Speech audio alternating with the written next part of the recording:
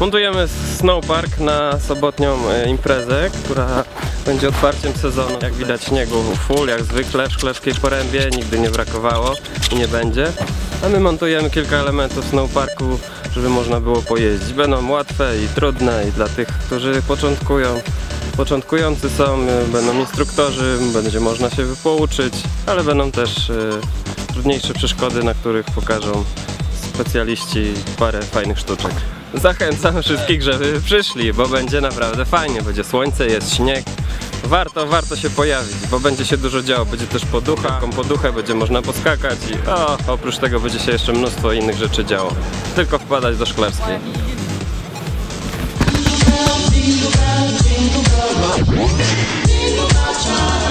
Jingle